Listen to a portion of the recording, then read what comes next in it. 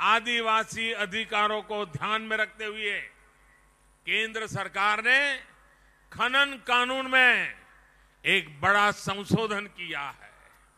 इसके तहत एक डिस्ट्रिक्ट मिनरल फंड बनाया गया है।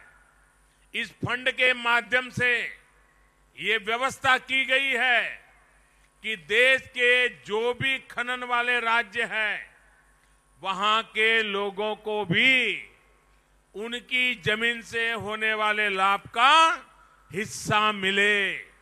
केंद्र सरकार के फैसले के बाद इस एक निर्णय के कारण उड़ीसा को भी चार हज़ार करोड़ रुपए से ज़्यादा की राशि प्राप्त हुई है। कितने? चार हज़ार करोड़। लेकिन मुझे आज दुख के साथ कहना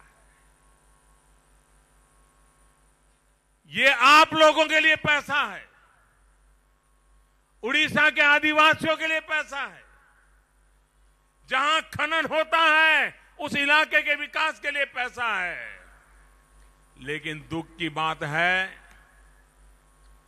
चार हज़ार करोड़ में से यहाँ की सरकार बहुत कम पैसा खर्च कर, कर पाई है। वो पैसा वैसा का वैसा पड़ा हुआ है। ओडिशा की सरकार को चाहिए कि आदिवासी हितों के लिए जो ये प्रावधान किया गया है, उसका भरपूर लाभ लोगों को दिलाएँ।